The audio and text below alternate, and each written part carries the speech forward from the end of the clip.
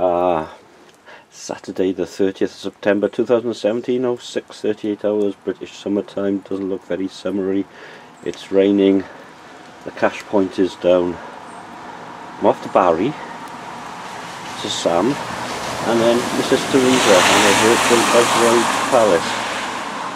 I have a feeling there might be rain, which isn't a bad thought because it's rain all day forecast. Could do with a Welsh cake. It's dry south of the M4. This is Barry Town, or I think they just call it Barry now. Off to the left of the island, straight on Rhws and Bridgend. Find the cash point. Great news, just around the corner from the Sir Sam there's a post office with a free cash machine. Game back on. Google Maps, need to update your records. I went with a hunch.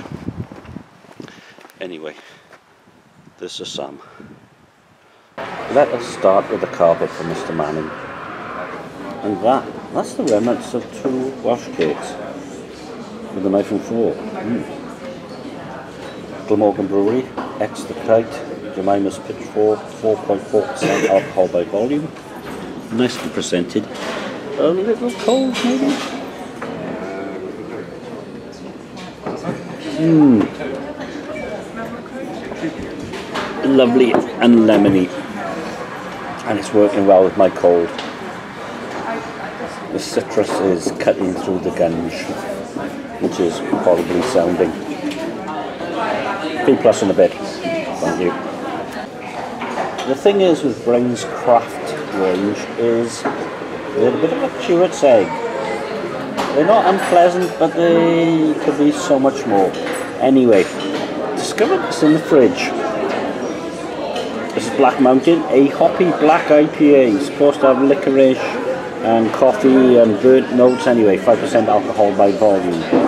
Let it warm up a bit because coming out of the fridge. In the fridges are too cold. Getting the burnt notes and a hint of hops.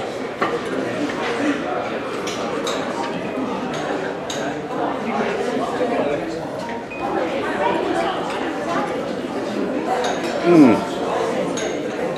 Okay, the licorice and the burnt notes.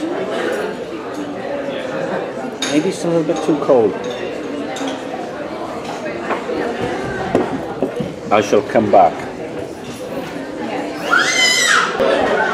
So I'm back now. It's not quite as hoppy as I promised. It has a really nice burnt, bitter finish. The nose is quite nice and this is me with a cold. Yeah, definitely getting sort of licorice I'm going to give that B plus in a bit. That is certainly different. But again, it's good, but not great. Come on, brains. Half an hour before Van comes to pick me up, uh, so half. Welsh Pale Ale by the Glamorgan Brewery, 4.1% alcohol by volume. Does this sound like I know how to do this? Anyway, mm. coffee. B plus. Works for me.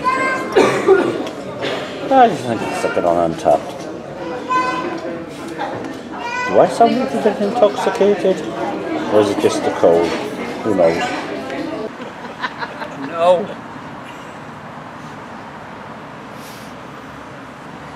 quite good here, isn't it? Hey? I said it's quite good here.